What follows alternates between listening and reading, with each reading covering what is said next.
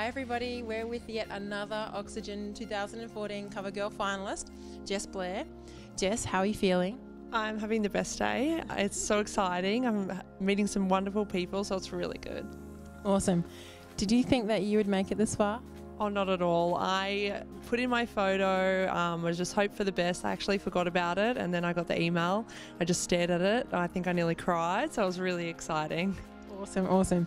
Now, there's three questions that I want to ask all of the finalists, um, and hopefully they're not too daunting. But the first one is why did you enter the CoverGirl competition this year?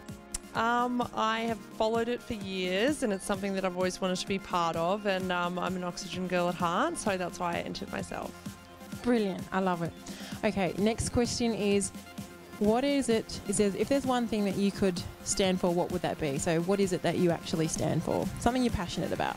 I'm very passionate about women's health and fitness, so I want all women to be empowered by their own fitness and their health and just uh, live life. Awesome, awesome. It's really important. It's one of those things that so many people don't understand um, how easy it can be, and some people make it harder than it has to be as well. So we want to always make sure, like you said, is to try and empower other women to feel good about themselves and to go out there and be fit and healthy, right? Awesome. So the third question is there's one if there was one thing that you could share with all of our readers out there to help them in their own journey, what would that be? Just to believe in yourself, just keep trying and trying. If it doesn't work the first time, just keep trying and trying. Awesome. So you've got a little little one too, don't you? How old is he? He is three and a half, going on thirty-five. so how do you fit all of this fitness stuff in, as well as have a little toddler running around, as well as a husband, obviously out there who needs you know their wife at home as well? How do you do all this and fit it all in?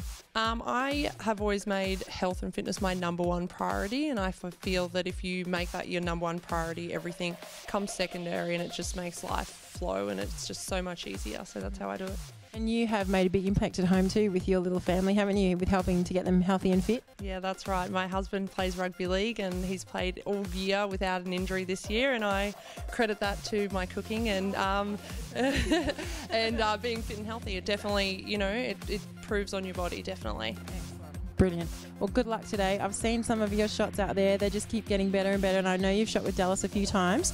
Um, and each time you come and shoot, you actually get better and better and better. And today's just no exception to that. So congratulations for you know keeping up and trying. As you say, it's one of your mottos. It's what you stand for. Keep trying, never give up.